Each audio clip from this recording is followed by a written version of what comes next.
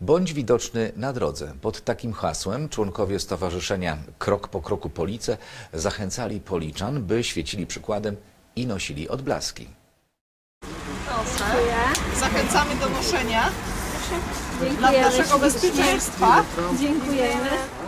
Jesień nie sprzyja bezpieczeństwu pieszych, dlatego już po raz drugi Polickie Stowarzyszenie wyruszyło w miasto, by przypominać i uświadamiać pieszych, w tym seniorów, o potrzebie bycia widocznym na drodze.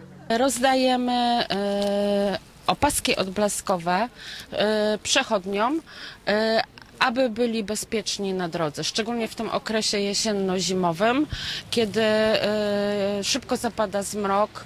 Prosimy bardzo, dbajcie, nasi kochani mieszkańcy Polic, o własne bezpieczeństwo.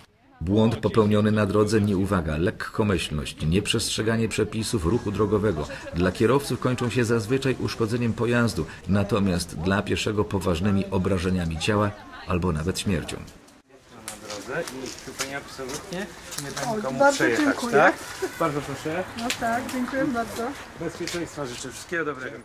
Noszenie odblasków powinno być nawykiem każdego uczestnika ruchu drogowego, nie tylko pieszych, ale również rowerzystów i motocyklistów. Dzięki temu stają się widoczni nawet z odległości 300 metrów, a to daje kierowcy czas na reakcję i znacznie zmniejsza ryzyko wypadku.